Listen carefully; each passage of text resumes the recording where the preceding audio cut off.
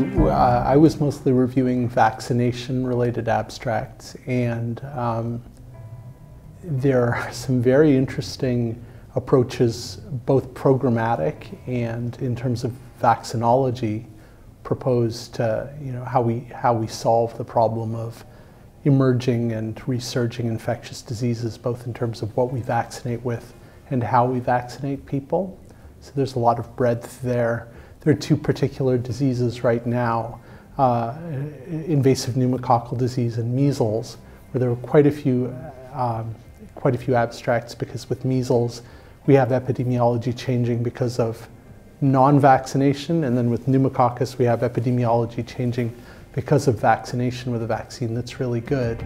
So, so that's very, very interesting and timely stuff.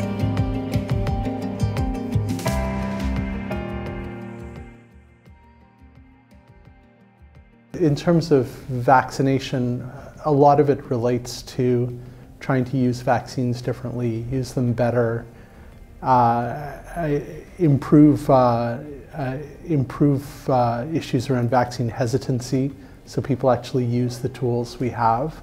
Um, yeah, th those are uh, those are common themes that we, we have these tools but we don't use them or we need new tools.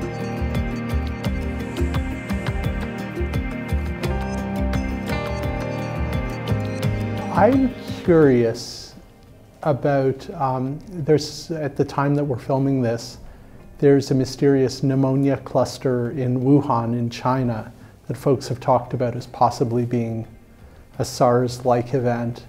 Having lived through SARS in Toronto almost 20 years ago now, I hope that's not the case. And I, I'm not sure whether or not that will be the case. So, you know, by the time the meeting rolls around, if that turns out to be a thing, I suspect we'll be talking about um, uh, talking about Wuhan fish market disease in Paris in April 2020. But you know, the interesting thing about infectious diseases is it's never the thing that you expect that tends to come and bite you. It's, it's often surprises. So it's what makes it interesting to be in our field. So I, I'd say all bets are off.